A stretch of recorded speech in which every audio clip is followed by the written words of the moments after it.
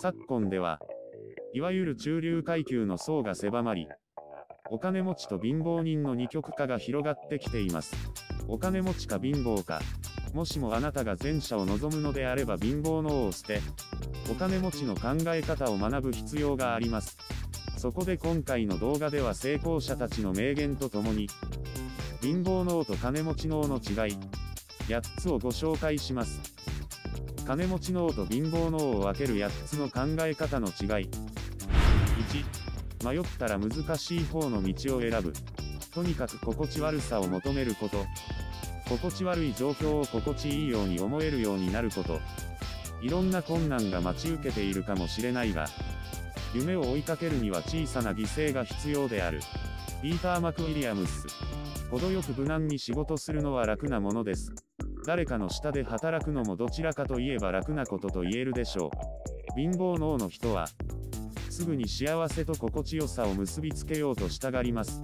しかし金持ち脳の人は、あえて自らを心地悪い状況に追い込むことが、結果的に大きなプラスを得られることを理解しています。例えば企業は最初はリスクを伴うものですし、それを背負い込むのは心地よいものではないはずです。すべての選択肢と向き合い、必要だと感じたなら安全地帯から一歩踏み出してみるべきなのです。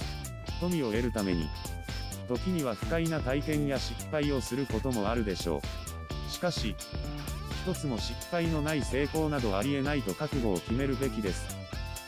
2、身分不相応な生活を望まない。収入以下で生活することほど、機嫌があって印象的で独創的なものはない。カルビン・クーリッジ。実は億万長者が1000万円以上の車や、数億円以上の家を所有している例は少ないことをご存知でしょうか。金持ち脳の人は減価する負債ではなく、高騰する資産などに投資し続け、自分自身は収入以下の生活をする人の方が多いのです。このことは2010年に出版された、ザ・ミリオネア・ネクスト・ドアの記事にもなっています。多くのお金持ちは数年前の車を所有し、新車は買わないそうです。仮に新品の高級車を買う余裕があったとしても、そんなことにお金を使ったりはしないのです。3、出世階段を上るより、階段ごと所有するという考え。世界的にお金持ちの人はネットワークを探し、気づこうとする。その他の人は仕事を探そうとする。ロバート清崎。いわゆる中流層以下と呼ばれる人々は誰かの下で働く傾向にあります。彼らには仕事がありキャリアもあるでしょう。しかし、上流の人は自営業者が多いのが事実です。彼らは仕事ごと所有し、事業そのものを営んでいます。言い換えれば、一般人が必死に登ろうとしている出世階段そのものを所有しているということです。金持ち脳の人は、自分のために働いてくれる人材が事業に必要であることをよく理解しています。4. 誰とでも仲良くしない。自分より優秀な人物と普段付き合うべきだ。自分より優れた行動をする人を見つけ、付き合うことで、彼らと同じ流れに乗ることができる。ウォーレン・バフェット。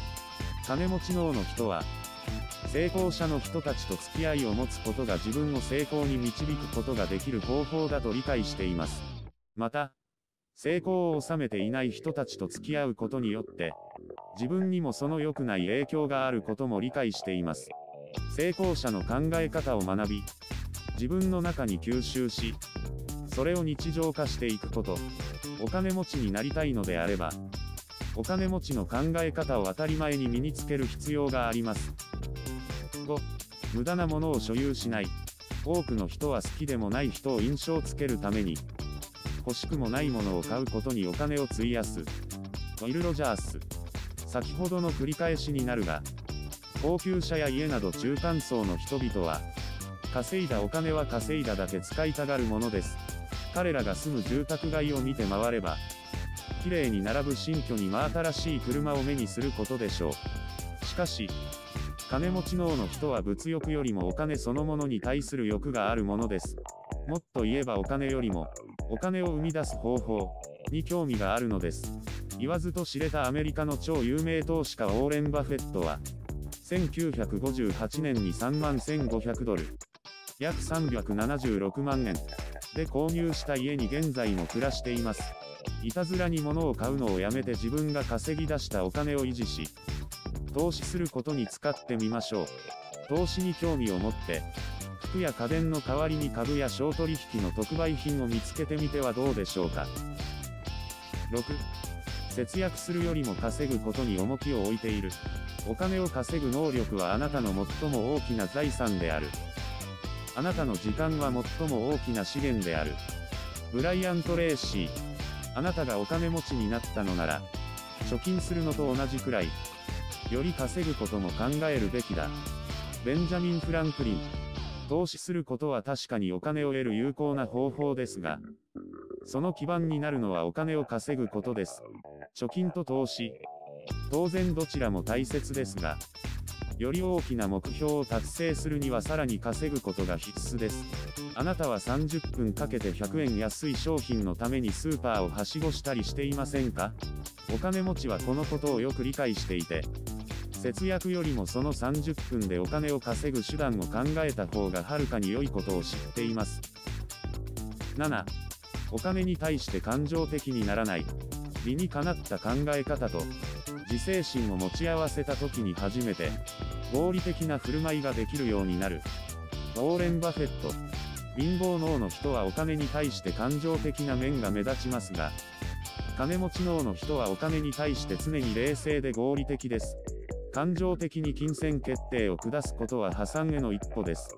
かのオーレン・バフェットは、投資はお金よりも感情をうまくコントロールできることの方が重要だと言います。感情的になると人間は冷静な判断を見失いがち。感情的にならず合理的に考えることがお金を手にする最善の道なのです。8. 目標設定は高く置く。自分の目標は高く持ち、達成するまで立ち止まるな。ボー・ジャクソン。貧乏脳の人は、簡単に達成できてしまうような低めの目標設定をしてしまいがちです。しかし、金持ち脳の人は不可能でできっこないと周りが思うようなレベルを目標に設定します。彼らにはそれを達成できるという確信があり、やりきるエネルギーがあるのです。いかがでしたでしょうか？少しでもお役に立てれば幸いです。ご視聴、ありがとうございました。